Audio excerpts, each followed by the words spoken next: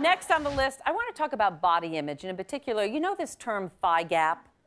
It's this desire to have a lot of space between your thighs to create the illusion of thin legs, and it's all over the media, and actually it is affecting young people in particular to see their body very negatively because it's not natural. So I love this parody. It's done by a sketch group called Just Boobs. They're a comedy group, all women, who highlight the serious issue in a very funny way. Take a look at this. You look great. What's different?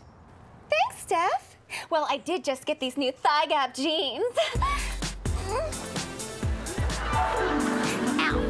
And I thought a thigh gap was an unattainable body myth championed by the media to lower women's self-esteem and make them easier targets for advertising. Yep! Plus, they're on sale for only $69.99 at Thigh Gap. I have to get some. On sale now for only $69.99. I love that.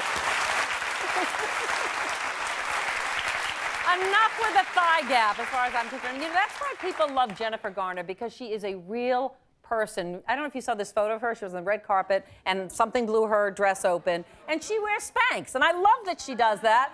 She's she's very laid back about it. She said, "Look, I've had three kids. I still have a little belly bump, so I wear a pair of Spanx." And I think she's great to kind of own that. And I like, I actually like shapewear. Do you guys like like shapewear? Yeah. Yeah. Yes. Okay. I wear a bodysuit and stuff, but I didn't even know this until last night. There's actually a push-up bra equivalent for men. It is called the Funky Bod. I'm not kidding you. We got one for Everett, our band leader. Yes. Because I love Everett, and I thought the large would fit, but I don't know. It's a little small. Well, this thing is too small. Let me see. Well, or maybe I'm too big. oh. So now I have two sets of pecs, a higher level and a lower level.